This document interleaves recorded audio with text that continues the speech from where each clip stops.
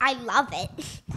They ask what show you want to watch Disney, Netflix. You get to pick what show. And it's just really fun coming here. Safari Children's Dentistry aims to provide a kinder, gentler, and fun approach to dentistry for kids aged 1 through 18 a big part of it is that we wanted to get the kids involved in their appointment, right? So, um, and, and making it more custom to them. So, uh, you know, we have a toothpaste menu with like over 10 different flavors of toothpaste. Uh, we have like a toothbrush wall with all like their fun characters and cartoon characters that they love.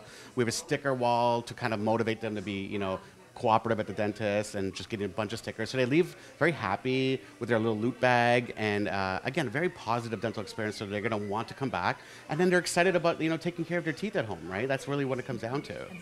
Dr. Gupta and Dr. Duong are both board certified pediatric dental specialists, which means two additional years of professional education after dental school relating to the specific needs of children. So while their clinic may be fun, bright, and colorful, they are also offering top notch care. You know, when a kid has a lot of cavities, we, we're all always um, there to uh, talk to the parent, figure out why did the kid get all the cavities, what can we do to improve their oral hygiene, um, how can we work as a team with the parent to make sure that, you know, not only does a kid get proper treatment in a fun and positive way, but that we learn from this and in the future we don't get any more cavities, especially when the adult teeth come in, right? So um, we're really big on oral uh, hygiene education here, and but involving the parents and the child together, right? So that's really important for us. Andrea has been bringing her three children to the Burlington location for the past decade and plans to continue to do so until they age out of it.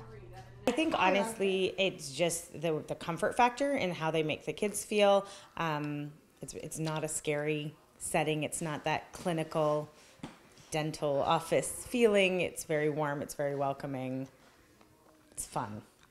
Check out the Parents Corner section of mysafaridentist.com for more information or to book your child's appointment in Milton, Burlington, or Stoney Creek.